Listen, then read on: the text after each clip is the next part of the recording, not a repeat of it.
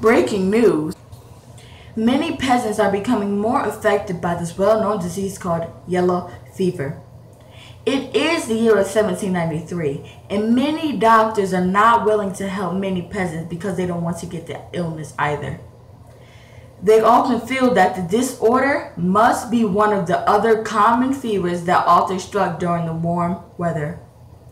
Yellow fever is a viral infection spread by a particular species of mosquito. This illness is extremely rare and very harmful.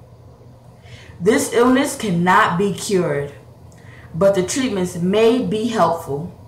This disease spreads by animals or insects requires a medical diagnosis, you only live for a matter of weeks, within days to weeks. To be exact, many villagers crowded by the port of Philadelphia where the first yellow fever epidemic in 30 years began in the city in August. It is most likely that the refugees and ships carried yellow fever viruses and mosquitoes. It is also being transmitted by mosquito bite.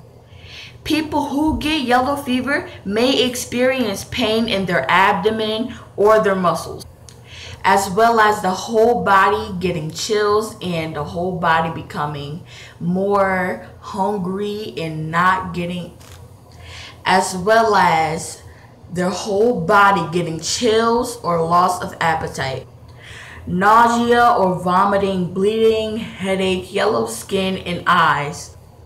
This disease would affect the poor villagers who live in Philadelphia because they don't have enough shillings to travel somewhere and they don't have any shelter to take cover to get away from the yellow fever.